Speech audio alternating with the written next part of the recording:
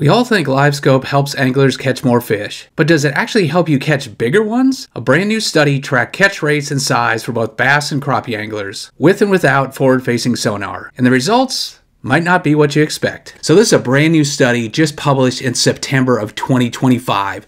And this is the first major peer reviewed study that actually took a look at the catch rates by anglers for both bass and crappie as well. Now, this study was done by a team of researchers by the Florida Fish and Wildlife Conservation Commission, or the FWC, which is a state regulatory agency for Florida, and it was on Lake Talquin, which is near Tallahassee. Now, this study was to look at the numbers of fish that anglers caught, both the crappie and the bass, the size of their catch, and then how many they kept. And they wanted to compare with and without forward facing sonar and from Florida's uh, standpoint, what they're looking at, they're regulatory agency, so they want to see the impact on the fishery because there has been backlash, obviously, with forward facing sonar. Some people are, are, afraid that it makes it too easy, that you're fishing out res- reservoirs. So, this is the first time that an agency actually really took a quantitative look, like actual hard data, and saw how many fish are being caught, how big, and how many are going home to the frying pan. So Lake Talquin, hopefully I'm saying that right, it's about 9,000 acres. I've never fished it, but basically they said it's well known as a big bass uh, fishery and very popular with crappie anglers as well. Now the regulations for bass on here, it's five fish and only one can be over 16 inches, but there are a number of tournaments there, and there are exceptions for that, where I believe it's probably like the other Florida lakes I've fished, it's probably a 12 inch limit in the tournaments. I'm not 100% sure on that, but based on my experience, but basically they said the catch and release rate uh, for bass, almost everybody, whether they're in a tournament or not, is like 5% keep rate you know, uh, retention rate. So they didn't track how many bass were being kept. They assumed most of those being released. Now the crappie, a little bit different. Those are black crappie, and there's a protective limit down there, a 10 inch limit, which is, from what they said in the study, sounds like that's higher than most. Uh, lakes in, in Florida. So it's it's not necessarily a trophy uh, fishery, but to keep the quality good, they have a 10 inch limit and it's 25 crappie 10 inches or more. Now for the survey, what they did is it was actual on the water surveys, and they surveyed a lot of anglers. They did it for 16 weeks, so like peak season over four months. Uh, you're looking at February into June of 2024. So this is pretty current. So LiveScope's been around for a bit. It's not like it was at the very infancy. We're talking the spring of last year into the summer when people obviously had figured out LiveScope, both for crappie for a while now and for bass. And what they did is they interviewed a number of uh, actual fishermen on the water, uh, actually, you know, hundreds of them. And they also so they they asked him how many fish had you caught, how many keepers, and they wanted a size breakdown as well. Now with the crappie, they basically just asked were they 10 inches, you know, keeper size or less? How many of both did you catch? On the bass, they broke it down a little bit more.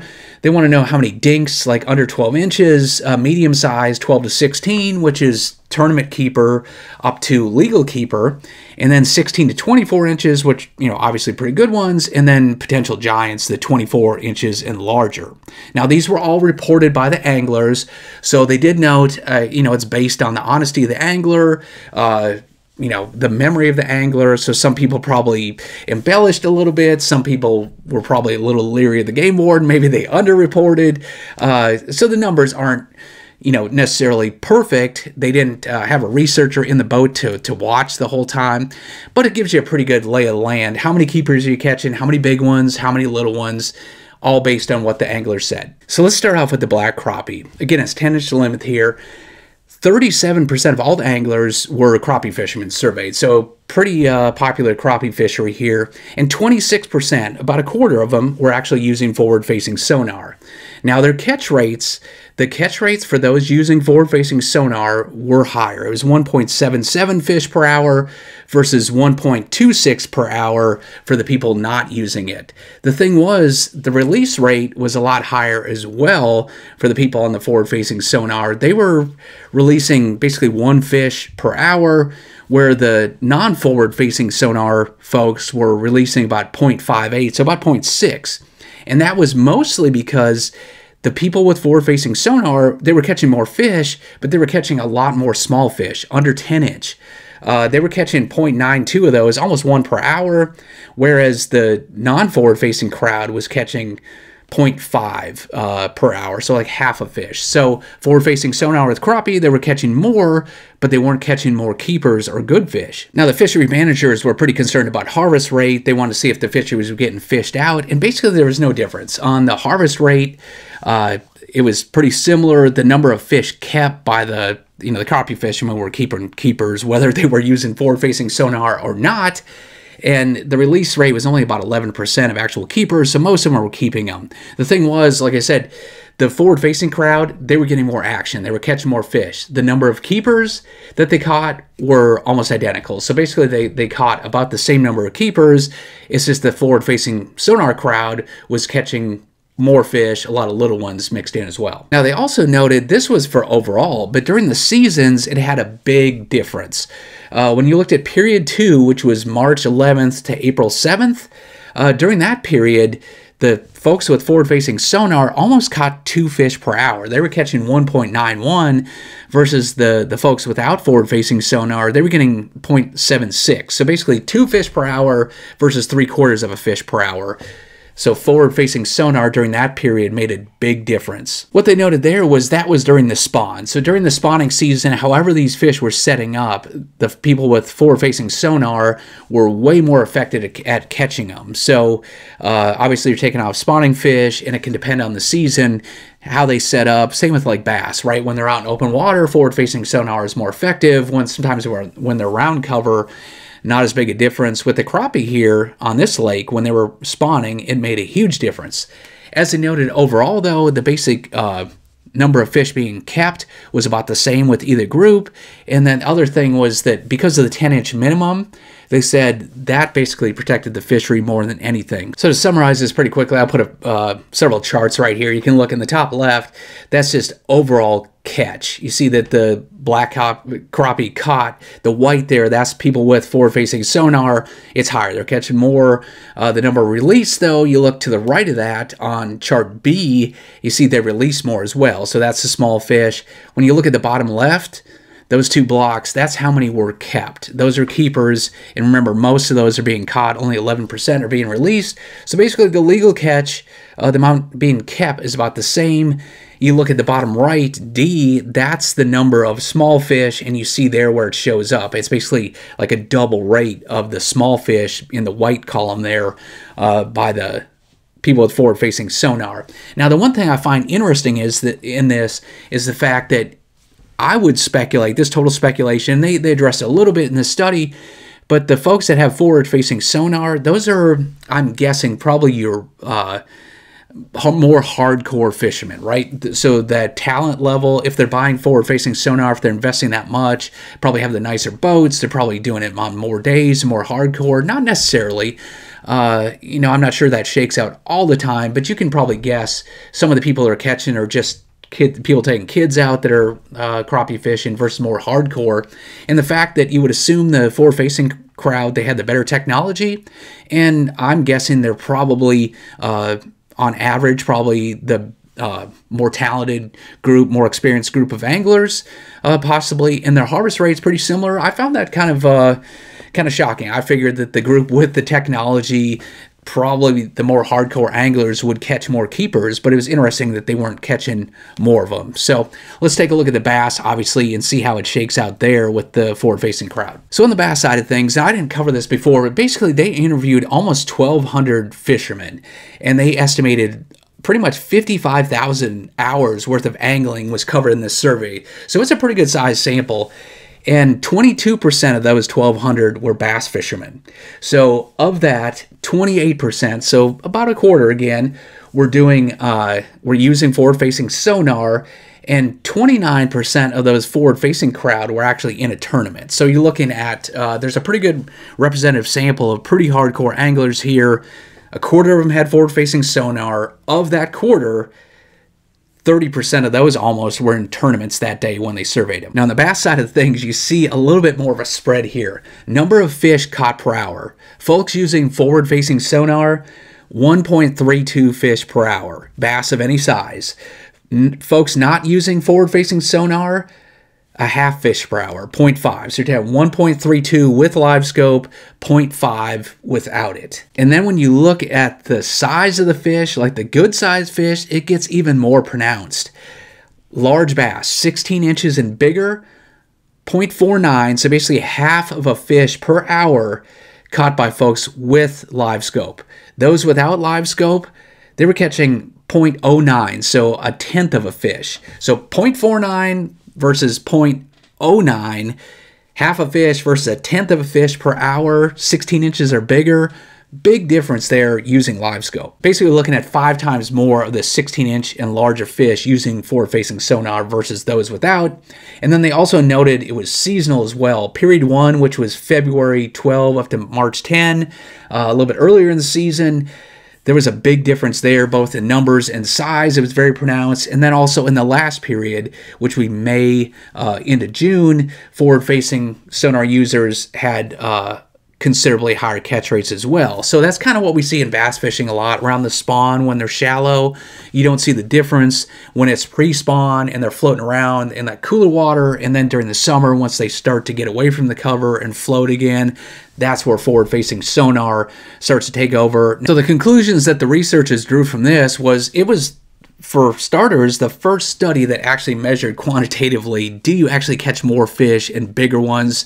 Uh, pretty clearly in this one, the folks with forward facing sonar were catching more and bigger, and it was definitely seasonal. During the spawn, it was pretty similar, but before the spawn, after the spawn, that's where you saw live scope be a big major advantage. Now, study limitations on it though. This is correlation, not causation.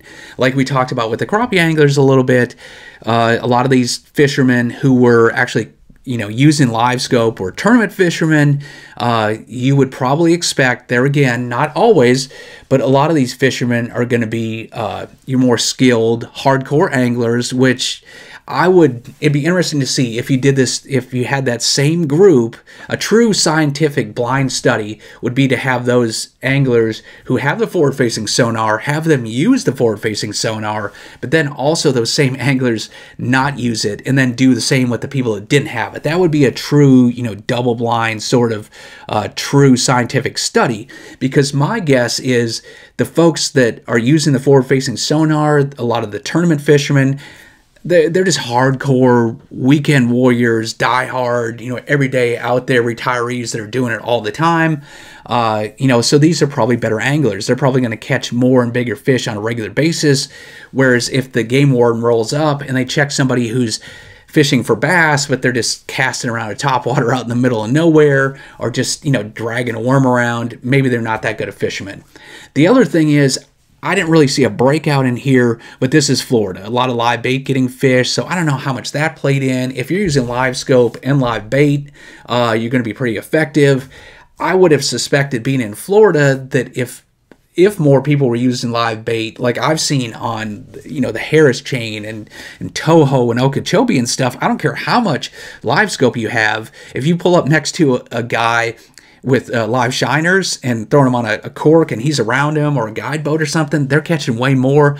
I don't care how good your live scope is, those guys are catching them. So I don't know how much that's intertwined. So this, you know, this study kind of showed there's actually a difference, but it really has a, in my eyes, a bit of clarification or for it to be cold hard facts, you would really have to test those anglers, all the anglers with and without live scope and actually have somebody in the boat documenting actual catches instead of just a guesstimate and stuff.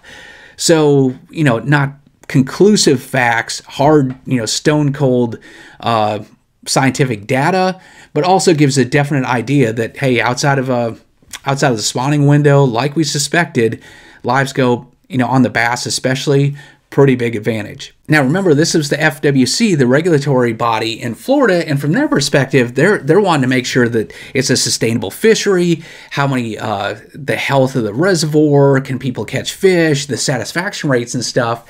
They noted that bass retention rate, that the keep rate was 5% or less. So they weren't worried about these fish being taken home. They were being caught and, and turned back both by both sides, you know, by the forward facing sonar crowd and the non forward facing sonar crowd. Their question was if more fish are being caught and some of those get gut hooked or they're overhandled, hold them out of the water for pictures and stuff too long, kept in live wells and not treated well or during the wrong time of year even though they're released, you could be getting delayed mortality, so you could be killing some of these fish without knowing it. And then also, are you making these fish? They've been caught before. So for the average fisherman, are they tougher to catch the next time? In five years, are these fish all going to be hook shy and harder to catch?